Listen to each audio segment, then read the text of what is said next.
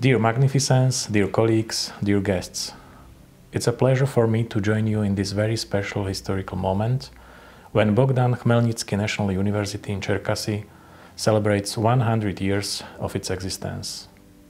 Let me bring you the warmest greetings from our academic community in the heart of Slovakia. The links between Matej Bel University in Banska Bystrica, that I have the honor to represent, and between your respectful university has been established by researchers in the field of history several years ago. Later, in this initial collaboration has been enlarged and it covers now a broad range of disciplines. Our joint activities were strengthened by a bilateral cooperation agreement signed in 2019.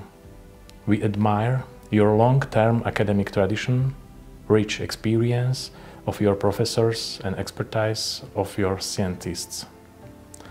I am very glad that we found in your university an outstanding partner in both academic activities and in research. We want to continue developing this cooperation and make it one of the privileged ones.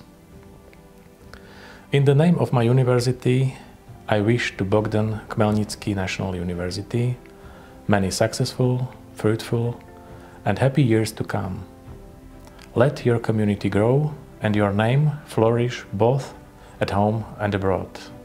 We wish you many innovative minds, lots of creative personalities, and enough thoughtless leaders. Matej Bel University in Banska Bystrica will always be happy to be at your side.